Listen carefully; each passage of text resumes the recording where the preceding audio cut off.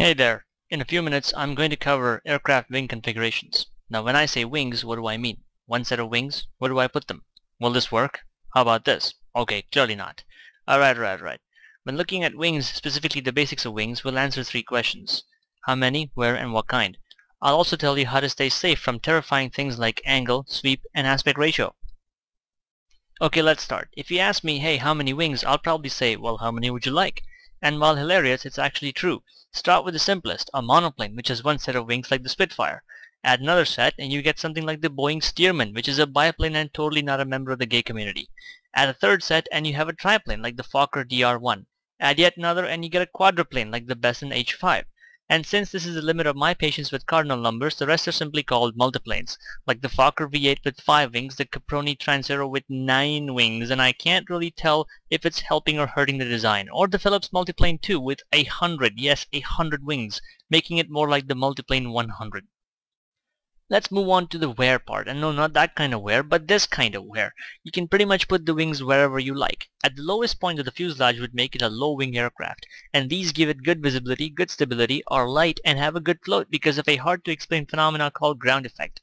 And because of these good things, most airliners are low-winged aircraft.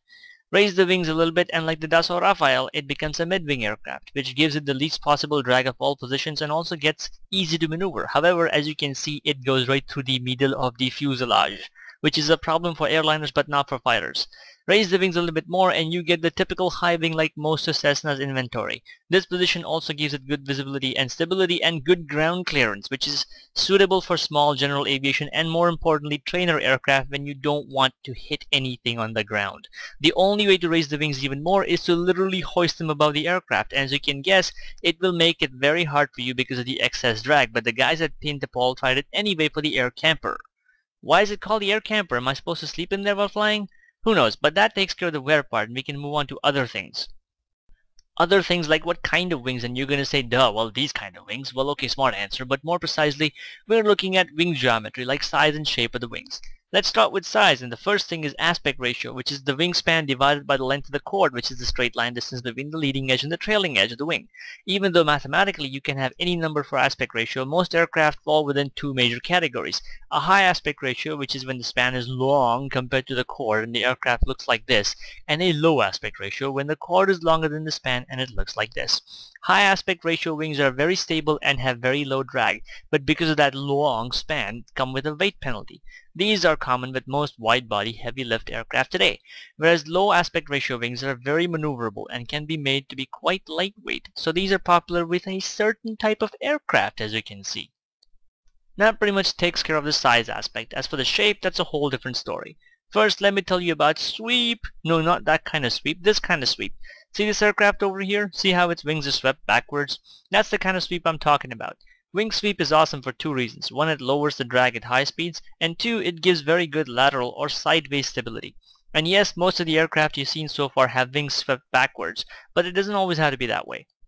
In the beginning, most aircraft had no sweep as you can see here, but then we got clever and said, hey, backward sweep is cool like these airliners over here. But then we got even cleverer and said, what if we can change the sweep mid-flight from this to this? And that's possible too and has been done in several aircraft like the Mirage, the Aardvark, the Tomcat, and my favorite, the Panavia Tornado. But wing sweep does not always have to be backwards, they can also be swept forwards. And although this has limited effects compared to the backward sweep, it has been tried multiple times, most recently by the V-22 Osprey. Now we can move on to taper, which is changing the shape of the wings from the inside like this. This one is straight or constant chord. This one is tapered from the root to the tip. This one is backwards, so reverse tapered, and this one only has the outer section tapered. This one has many angles, so it is compound tapered. One last thing about the shape is that there are three more types. The elliptical like the Spitfire here, the delta wing like the Avro Arrow, and there are aircraft with canard which are really not wings but more like stabilizers and elevators placed in front of the wings instead of behind like the Saab Gripen. Now we move on to the last thing about shape, the angle of the wings. And again, there can be three types of angles that wings can take straight, obviously with no angle at all, a dihedral which is a positive angle, and an anhedral which is a downwards or negative angle. An easy way to remember all this is that anhedral has an N for negative in it, whereas there is no N in dihedral. Trust me, I've checked. Now what's the point with these angles? Well, the dihedral gives very good turn stability and is perfect for heavy lifting aircraft like airliners and transports, this Antonov being the major exception. Anhedral on the other hand makes for superb turning agility and is therefore good for a certain type of aircraft as you can see. Okay, I'll stop being all cloak and dagger. Fighters it's good for fighter aircraft. That brings the video to a close. Thanks to these guys for the pictures I've used here. Thanks to you for watching this video. As always, comment, subscribe, and suggest your ideas. Ta-da!